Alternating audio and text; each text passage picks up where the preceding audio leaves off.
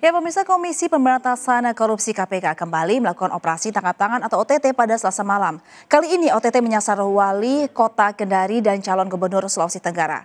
Menurut informasi, penyidik KPK ikut mengamankan tujuh orang lainnya dari sebuah ruko milik pengusaha yang ada di Jalan Syekh Yusuf Kendari.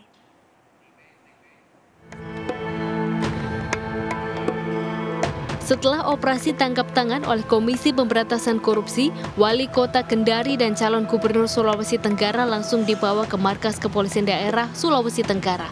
Selain Wali Kota dan Cagup, lima orang kerabat dan orang nomor satu di Kota Kendari juga turut diamankan untuk dimintai keterangan. Ketujuh orang dibawa ke Mapolda pada hari Rabu dini hari beserta kendaraan dinas aset pemerintah Kota Kendari. Kabit Humas Polda Sulawesi Tenggara AKBP Sunarto membenarkan adanya tim KPK yang menggunakan ruang penyidik Direktorat Kriminal Khusus.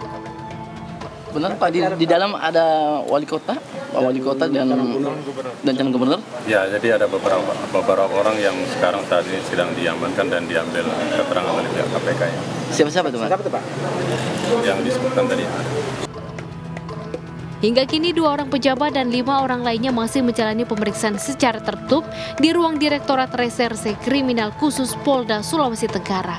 Sementara itu di pihak KPK belum membenarkan keterangan resmi terkait OTT di kota Kendari. Dari Kendari, Sulawesi Tenggara, Rahmat Buhari, iNews melaporkan.